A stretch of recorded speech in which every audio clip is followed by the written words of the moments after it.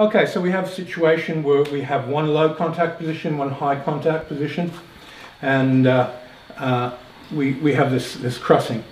His force here is just slightly this way of my body. So what I want to do is sneak my hand up and then go into elbow stroke across the side of the jaw. Now, just before I do that, I touch down here at his knee. So as I hit there, I'm also taking away that structure from to neutralize the force of the strike. So it breaks the structure. So we have this position. Here we have a cross, cross. I come up, I split, and I release the elbow. Now, to train this, what I want you to do is just put your elbow down a bit lower, you stretch your neck, and I practice issuing through this elbow, and you practice strengthening your neck.